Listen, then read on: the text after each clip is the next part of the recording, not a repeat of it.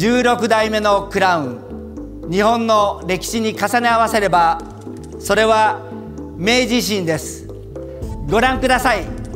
新しい時代の幕開けです。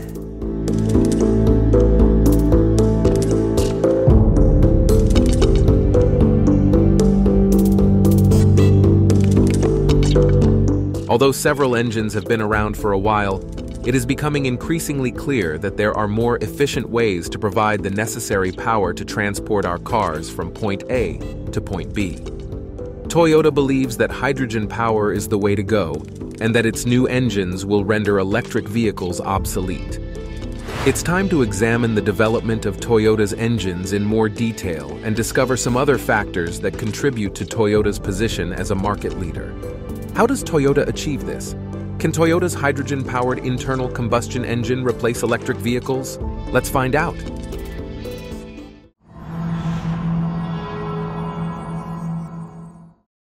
Toyota is pursuing a multifaceted strategy to being carbon neutral, and the Japanese automaker may find success with it.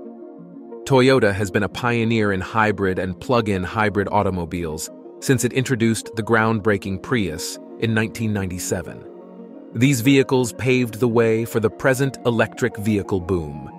Despite its heritage, the Japanese company has been reluctant to embrace the all-electric trend head-on.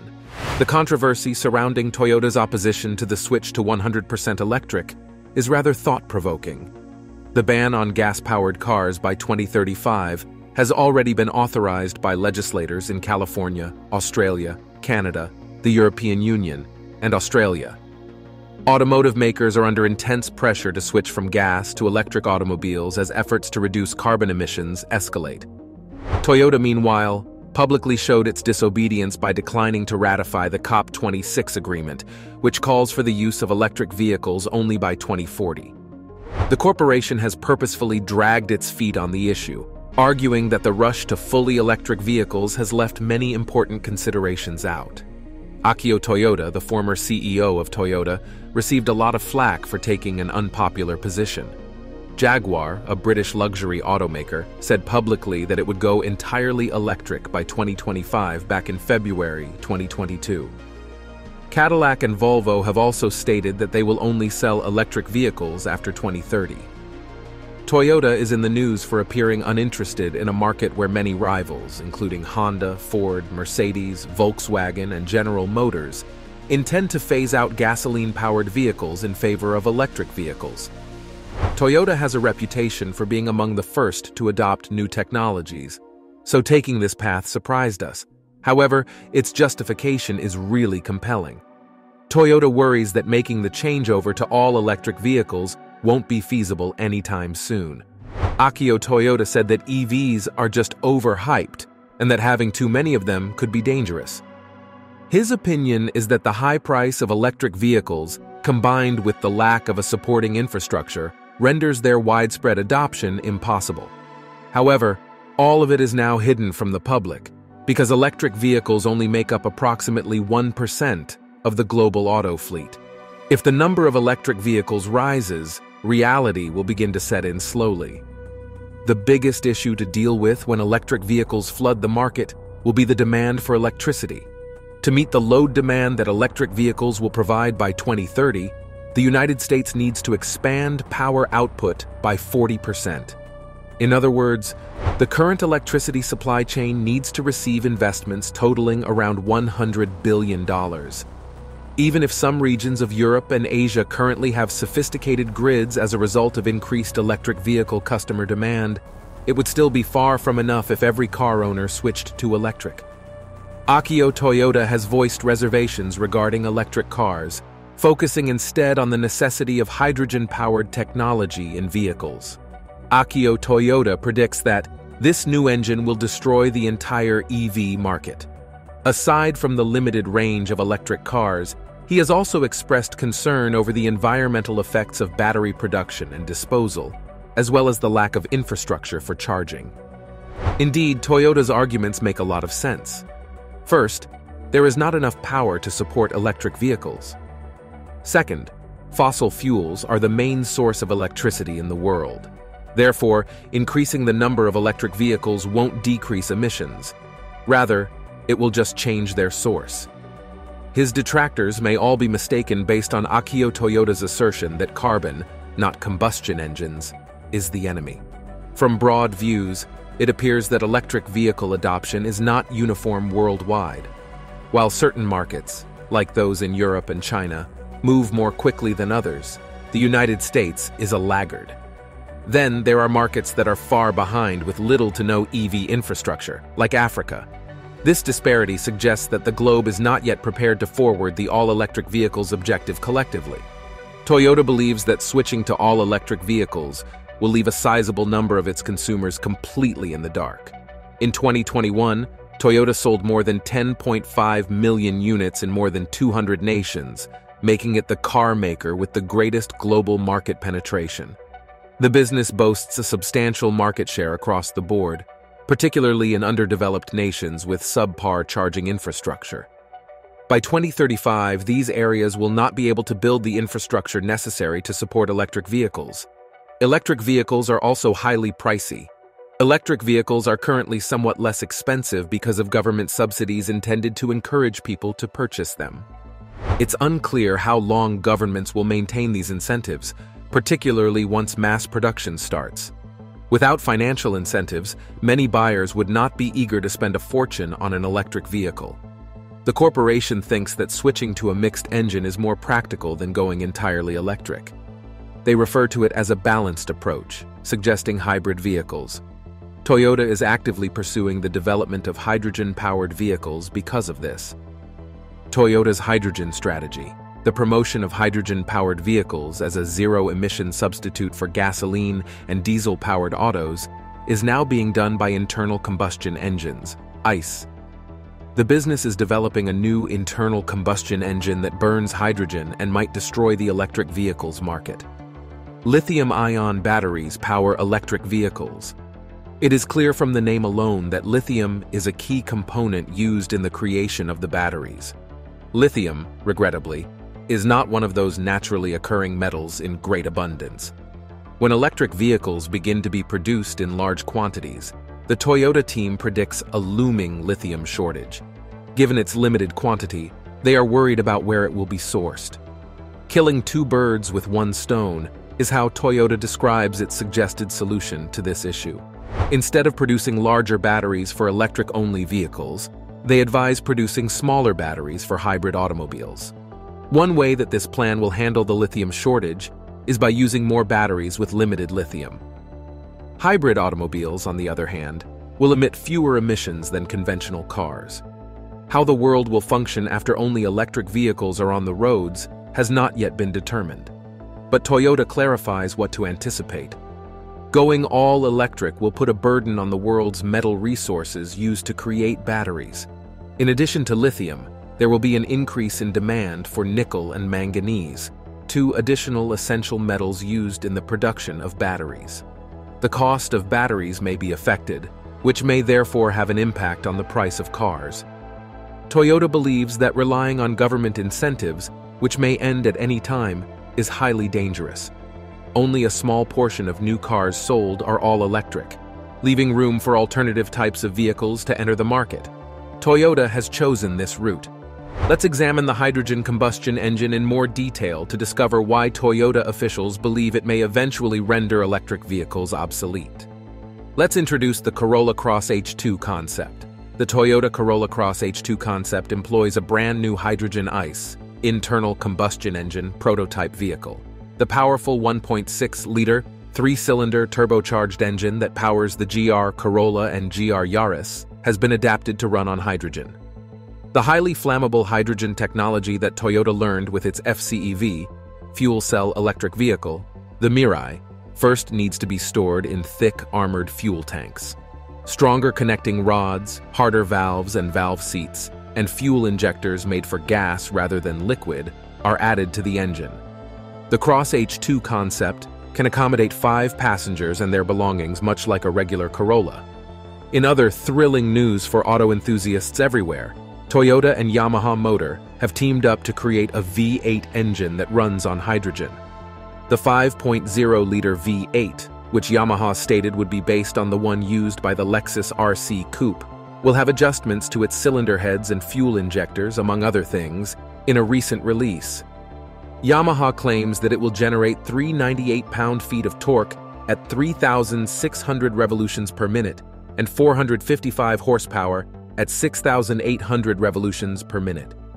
Even though it has a little less power than the base gasoline V8, it is still fairly acceptable.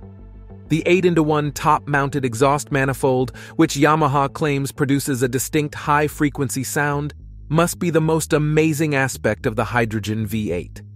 You have to admit that, while it may not be the most exciting part of your day, filling up your gas-powered internal combustion engine vehicle is not a difficult process. Because hydrogen is a gas rather than a liquid, filling up a car with it is just as simple and takes much less time to complete.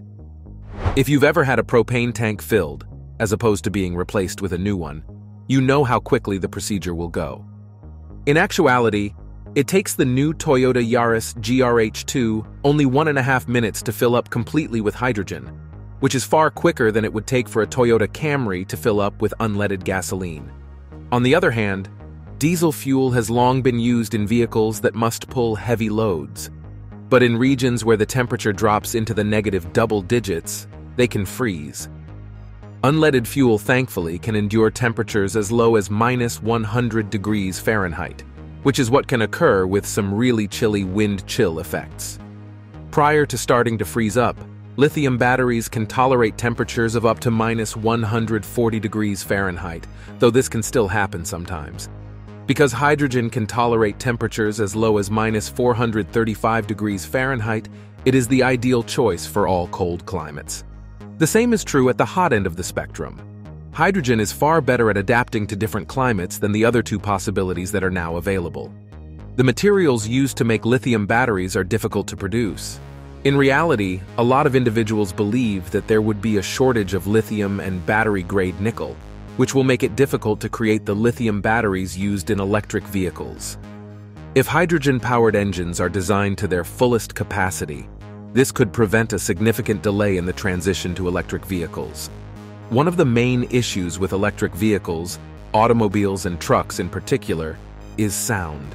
Nothing compares to the thrill of depressing the gas pedal on an old classic muscle car, such as a 1970 Chevrolet Chevelle SS with a large block 454 or a 1969 Ford Mustang with a 428 Cobra Jet. When an automobile is about to launch, you may hear the sound of the carburetors opening as the fuel pours into the chambers, feel the power flow through your chest, and experience a complete burst of adrenaline. Electric vehicles cannot provide it, but the hydrogen-powered vehicle can because it operates in a similar manner. Nearly every corner in the country is home to a tiny local repair business, but as electric vehicles gain in popularity among customers, you won't have that option any longer. You might be able to repair their electric engine by going online and watching a few YouTube videos, but it is strongly advised that you take it to a certified mechanic who is experienced with the most recent technology. The amazing thing about hydrogen-powered engines is that they are purely mechanical and are quite similar to fuel-powered engines. That implies that the little neighborhood shops you feel safe bringing your cars to will be able to fix them. The fact that hydrogen is very combustible, challenging to handle and store, and produces nitrous oxide during burning are some drawbacks. Toyota's approach to carbon neutrality is more diverse, considering many technologies in order to accomplish the objective of zero emissions, in contrast to practically all other automakers who are placing their entire faith in electric vehicles. This mindset looks more and more prophetic in light of the fact that European nations are seeking ways to reduce their energy use due to the conflict in Ukraine and its effects on energy supplies. In fact, Switzerland has taken it a step further by advising electric vehicle owners to reserve the usage of their vehicles for emergencies like errands or supermarket runs. This policy may even become law. There is a route to success for hydrogen-powered cars, but it might ultimately be obstructed by electric vehicle dominance. Hydrogen fuel cell electric vehicles include cutting-edge technology that has a lot of potential. They also have a number of benefits over conventional electric vehicles, including a greater range and faster charging or refueling. However, for hydrogen-powered cars to become widely used, a number of technological developments are required. At the moment, it costs a lot and requires a lot of fossil fuel to produce hydrogen. Infrastructure for hydrogen refueling stations is also lacking. Most importantly, the popularity of non-hydrogen electric vehicles may be preventing hydrogen fuel cell electric vehicles from taking off. People need a good reason to give up their Teslas. Therefore, until one is presented, hydrogen-powered cars might remain unpopular. Technology for hydrogen fuel cells has already been around for a while. It was created in the late 1960s to supply electricity for NASA's manned space flights. Since then, it has been refined and may currently be used to power a terrestrial vehicle in place of an internal combustion engine. An electrolyte membrane, an anode, and a cathode make up a conventional hydrogen fuel stack. While oxygen is fed to the cathode, hydrogen is fed to the anode, where it is divided into protons and electrons. While the protons pass across the membrane and change into water, the electrons are compelled into a circuit, producing electricity. Hydrogen fuel cell electric vehicles have a reinforced tank of compressed hydrogen that travels through the fuel stack, in contrast to conventional EVs that are powered by a battery pack. The vehicle's electric motors are driven by this converted electricity, and only harmless water vapor is released from the exhaust. The lack of range is the main criticism among electric vehicle users, and hydrogen-powered vehicles potentially address this issue. The Hyundai Nexo can travel 385 miles on a single fill-up, while the Toyota Mirai can go an additional 402 miles, compared to an average electric vehicle range of 250 miles. The length of time it takes to charge an electric vehicle is the second most common complaint among owners. An electric vehicle battery pack can be fully charged at home in 8 to 40 hours. However, Filling up a hydrogen fuel cell electric vehicle simply takes a few minutes and works the same way as a gas-powered vehicle. For their H2 vehicles, Toyota and Hyundai both provide free fill-ups. Toyota offers its customers free hydrogen refueling for six years or $15,000, whichever comes first. Similar terms of three years or $13,000 in fill-ups are offered by Hyundai. Infrastructure is where hydrogen fuel cell vehicles most need to advance. Simply put, there aren't that many hydrogen refueling locations. There are just about 60 in the United States, about 15 in Great Britain, and all of them are in the state of California. There are only a few in Canada. If you can't fill the tank, no one will buy a hydrogen fuel cell electric vehicle. The cost of hydrogen is the next significant problem. For a brief period, automakers do provide free fill-ups, but eventually owners are on their own. The price of hydrogen is comparable to that of gasoline and can reach $12 per gallon. For hydrogen-powered vehicles to succeed, that cost must be reduced to $2 per gallon, the electric vehicle equivalent. The fact that hydrogen fuel cell electric vehicles are not as ecologically beneficial as claimed is another drawback. Making hydrogen requires a lot of energy, and today, fossil fuels account for 99% of production. While the vehicle itself may not contribute to pollution, the production of its fuel most certainly does. Finding a renewable energy option for hydrogen production is necessary to increase public interest in H2 vehicles. Infrastructure can be created, and new, more affordable, environmentally friendly methods of producing hydrogen can be discovered. It makes sense that since the technology is still in its infancy, it will only advance in terms of powering automobiles. Hydrogen fuel cell electric vehicles can compete with electric vehicles for drivers by matching their economy. However, even if H2 vehicles were to become as affordable and practical to use as electric vehicles, battery technology is also advancing and enhancing range, which would eliminate the advantage of hydrogen fuel cell electric vehicles. Electric vehicle owners may find no compelling reason to switch from a Model S to a Mirai in the end. When everything is equal, consumers will stick with what they are familiar with. However, with its dynamic force engine strategy, Toyota has gained considerable prominence. The foundation of their dynamic force engine concept is increased thermal effectiveness. For instance, Toyota is said to have developed motors with a 41% thermal efficiency today, which is a noteworthy accomplishment given that the majority of gasoline engines have efficiencies of approximately 25 33%. Finally, the decision is up to the consumer. Battery electric vehicles and hydrogen combustion engine vehicles both have the potential to make substantial contributions to a sustainable transportation system, as is well known. It is unlikely that either technology will replace the other. Instead, they will coexist and fulfill various functions according to individual consumer tastes and circumstances. Thanks for watching another episode of Voyager. While you're still here, make sure to click the video on your screen for more mind-blowing videos about space.